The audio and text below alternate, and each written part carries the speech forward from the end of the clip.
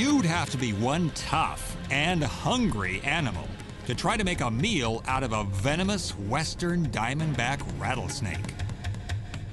After all, this North American desert dweller is one of the most dangerous snakes in the world.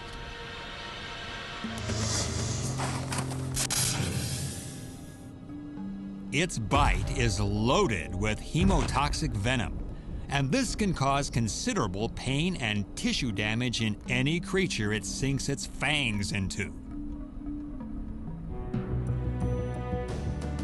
Enter the red-tailed hawk. With a wingspan reaching nearly five feet, it's one of the largest hawk species in the world. The bird of prey wastes no time. It swoops right in to make a quick meal out of the snake. The rattler is instantly on guard.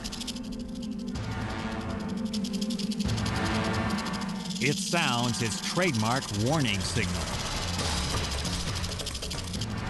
Now check out this matador move. The red-tailed hawk is trying to divert the rattler, get it to strike at its wing feathers and expose its head. The hawk jumps the rattler and digs in its talons. The issue of which animal is the superior predator is quickly established. The hawk makes short work of the rattler.